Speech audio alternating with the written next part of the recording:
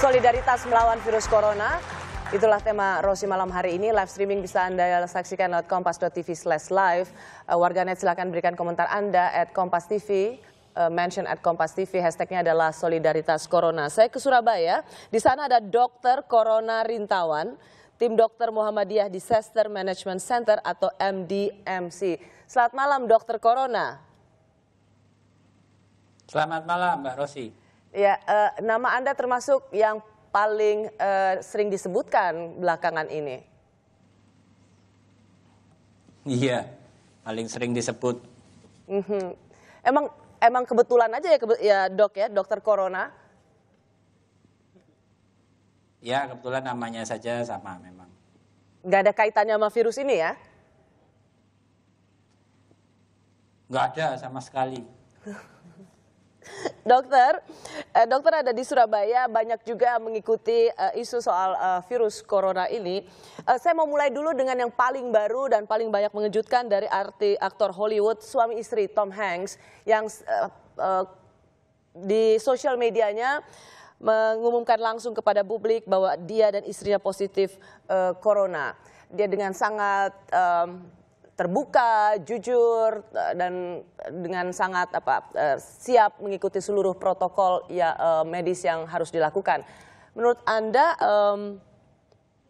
dengan kesadaran penuh seorang warga yang terkena positif corona ini apa pesan apa yang ingin disampaikan? Karena begitu Tom Hanks mengumumkan secara langsung ia positif corona, banyak yang bilang, aduh seorang Tom Hanks saja bisa kena, dia ada di Sydney, Australia waktu itu sebenarnya di mana kabar baiknya tentang mengumumkan langsung saya terkena positif corona? Iya, jadi ini kebetulan bersamaan bersamaan dengan uh, program yang diluncurkan oleh Muhammadiyah dalam hal ini Safari COVID-19. Jadi Safari itu adalah sadar faktor resiko dari diri sendiri. Nah, program ini sebetulnya ingin meningkatkan awareness masyarakat terhadap uh, faktor risiko yang dipunyai oleh dirinya. Jadi sama seperti yang dilakukan oleh Tom Hanks, kami ingin mendorong banyak masyarakat untuk untuk menjadi lebih self aware terhadap diri sendiri. Apakah saya ini termasuk faktor risiko yang dapat menularkan? Mm -hmm. Karena itu sangat sangat penting sekali. Karena kita tahu dalam konteks wabah ini kan uh, tracking pasien menjadi kunci utama. Ya.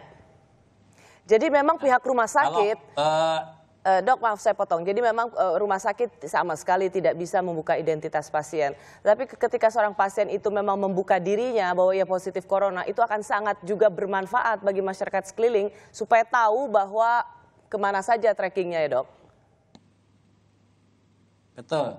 Dan bukan hanya uh, bukan hanya untuk masyarakat sekelilingnya, bahkan untuk keluarganya sendiri. Nah, itu yang perlu kita tekankan. persoalannya adalah seperti Jadi, yang dikatakan oleh uh, eh, WHO, stigma pada mereka yang terkena uh, corona itu jauh lebih gawat dari virus itu sendiri. Jadi mereka yang baru dalam uh, pantauan, pengawasan, bahkan uh, kena vir positif virus corona itu sudah terstigmatisasi membawa penyakit gitu. Jadi ada memang kegalauan yang cukup besar antara mau mengakui dan cukup menutupi uh, buat diri kita sendiri saja. Ya, tapi sebetulnya kita harus melihat dari sisi uh, uh, bahaya terhadap lingkungan keluarga kita. Jadi uh, bahwa seperti diketahui tadi dari data-data yang ada, bahkan ini yang paling banyak meninggal itu kan yang usia lanjut. tua ya, ya, usia lanjut.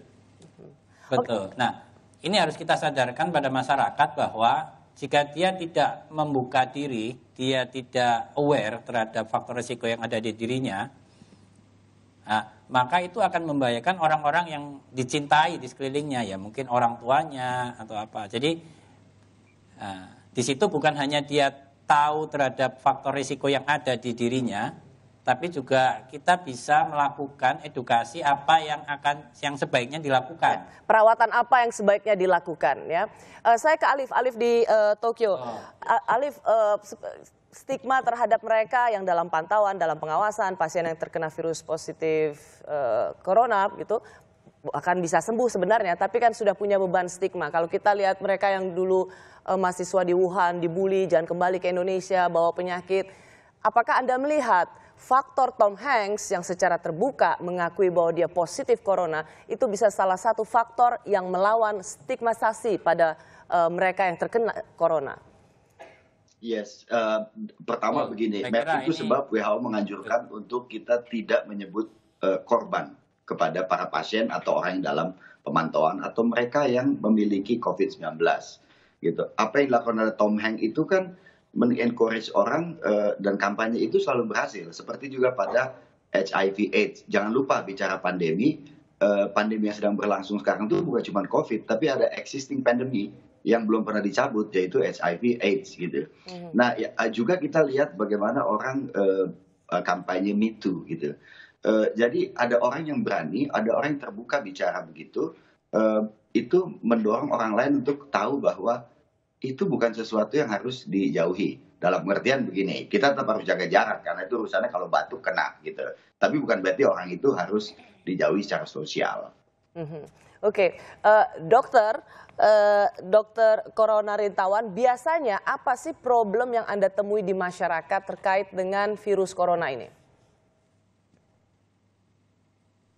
Uh, biasanya ini karena mereka masih memakai stigma itu ya, jadi merasa bahwa kalau sudah masuk kriteria orang dalam pemantauan itu uh, takut dijauhi, takut uh, takut tidak mau di uh, diajak komunikasi oleh orang sekitarnya, sehingga uh, pada beberapa kasus yang saya tahu dan saya dengar ini malah mereka uh, apa ya melarikan diri gitu. Mm-hmm.